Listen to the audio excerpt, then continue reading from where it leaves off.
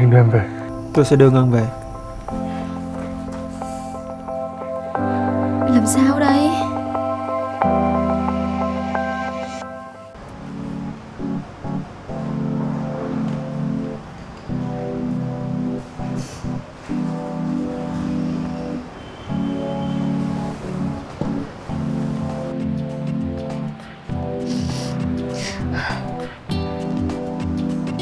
Hồi đó tôi như nào vậy?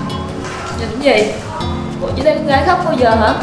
Hết giờ ăn trưa rồi Ăn lẹ đi Không muốn ăn Từ ngày hôm ấy tôi không muốn ăn gì cả Làm gì vậy?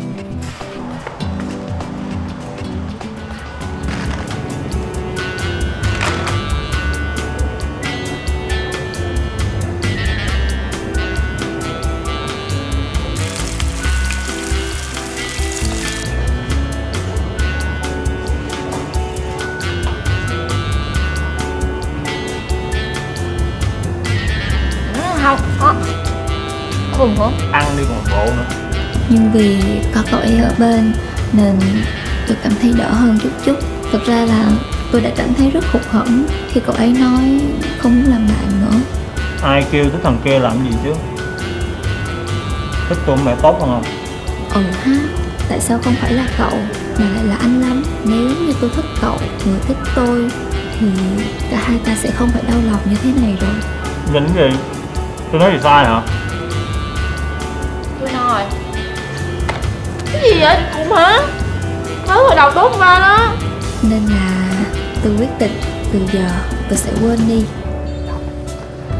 À, thôi thôi thôi thôi lỗi. Nhưng rồi ngày hôm đó Anh lại xuất hiện. Gì đó, bình thường vẫn nhây lắm mà. Cứ xuất hiện như thế này Thì tôi sẽ lại bị lung lay mất. Anh có chuyện muốn nói. Biết làm sao bây giờ? Mình đi ăn được không? Tôi thực sự không từ chối được. Nhưng khi ấy Không được Ngân này có hẹn với tôi rồi. Vậy à? Đi ăn chung đi. Có ba người á. Thế nên mới có tình cảnh như thế này đây.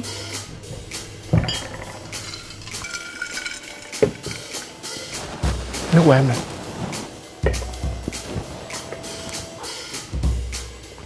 Ngân không uống được nước đá. Không khí rất kỳ cục Em ăn cái này đi Ngon lắm.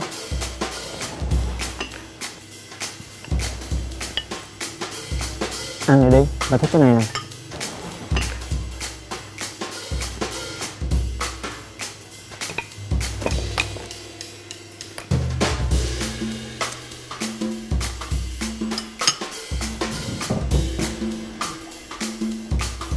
Ngon à?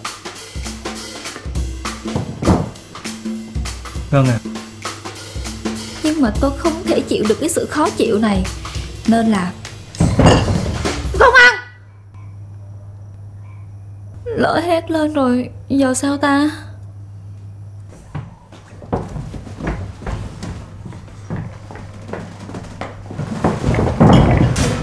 Ngân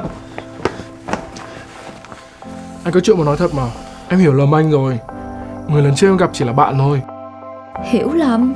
Nếu thật sự thích Thì anh cũng không nên Khiến người ta hiểu lầm như vậy. Để đưa em về. Tôi sẽ đưa Ngân về. Làm sao bây giờ? Anh thì luôn khiến mình hiểu lầm. Còn cậu thì chưa bao giờ làm như vậy cả. Còn đứng đó làm gì nữa?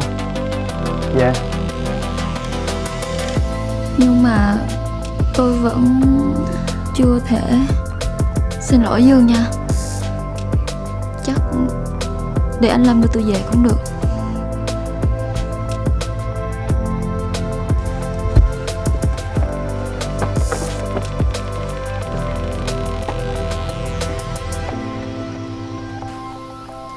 Nhưng mà vì sao? Sao tôi không thể nào quên được Hình ảnh của cậu ấy?